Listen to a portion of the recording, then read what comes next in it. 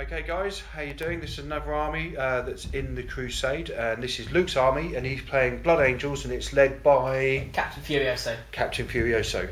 And so you'll na- you'll know who he is because later on they name uh, a load of dreadnoughts after him. Uh, and there he is just there. So we're going to walk through his army. It's a Blood Angel army, um, and he's playing a captain, and obviously all painter nerds playing the Primarch. Uh, so you guys have obviously talked in the past about Waterfield and stuff like that. So we're going to start over here, Yep. and we're going to work our way around the board, and you're just going to tell us what you're fielding. Okay. Well, first squad there is um, Terminator squad led by Sergeant Savin. Uh, so squad uh, Savin's one of the special characters armed with combi melta and a Glaive Encarmine, and his squad's got three line twin pairs of lightning claws and Thunderhammer Storm Shield and heroic intervention, which is hilarious. Fantastic. Okay, let's then move we've up got here. a scout squad armed with sniper rifles, and they also have a locator beacon to make sure my deep striking arrives where I want it. That is a good idea. Okay. Um, oh, this big guy. Then we got the big fella, yeah, the uh, Contemptor Blood Angels Contemptor dreadnought with blood talons and a pair of heavy flamers. He's very hard. I Oh. imagine he's taken out a few so far because you've Uh, actually started no. playing, haven't you? Yeah, actually he has. I've either either in my first game he never moved more than one or two inches due to being either in terrain and then not fleeting properly. and in my second game, Dal kept rolling his cyborg body invulnerables. Oh dear. So uh, is it based on the um, Apocalypse book? Um, Yeah, it's from Yeah. the Imperial Armor second edition. Yeah. fantastic. Okay, so let's move to this squad here. And I've got my tact- the start of my tactical squad, but obviously they are going to be built up. But right now they're five guys because that's all I had points for. Yeah, that's nice. What have they got armed with? They're just all armed standard bolters. All standard bolters. And what armour are you basically using throughout the whole lot of this? So what armour? What, what uh, is it? Heresy armour? Is It's, it? uh, it's all Forge World yeah, kit, apart from the scouts Okay. and the Terminators.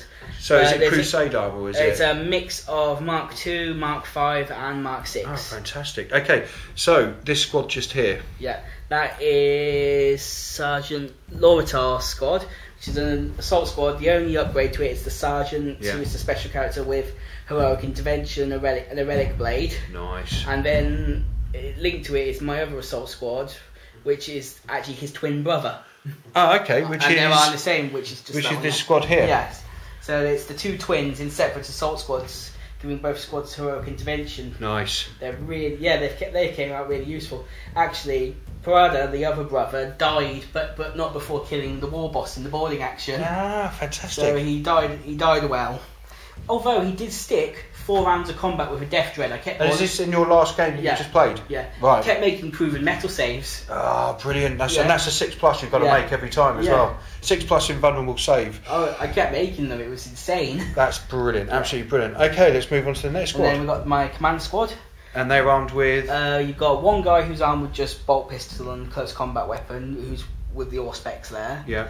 Then one with um, a Blood Angels Infernus pistol. Then you've got my company champion. Yeah. Then you've got uh, Chappie with a power fist. Yeah. And then you've got my apothecary. Fantastic. Yeah. And how have they done for you? They've actually done really well. They've always gone with Furioso. Yeah. So it's, it's a bit of a Death Star squad, but Yeah. they have munched their way through a fair few orcs so far.